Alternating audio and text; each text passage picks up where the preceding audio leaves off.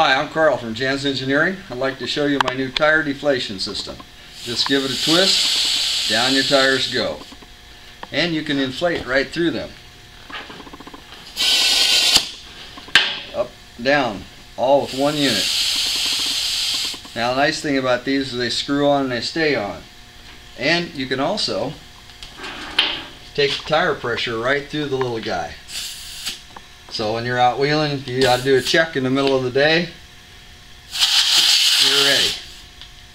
Inflate, deflate right through the same unit. You're probably wondering what I got here. What these are is through fillet valves.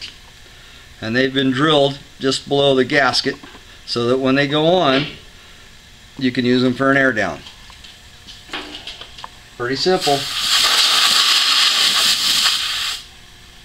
So pick up a set today and you can stop messing around with valve stems, valve cores, and all the other doodads that take us all day long to go jeeping.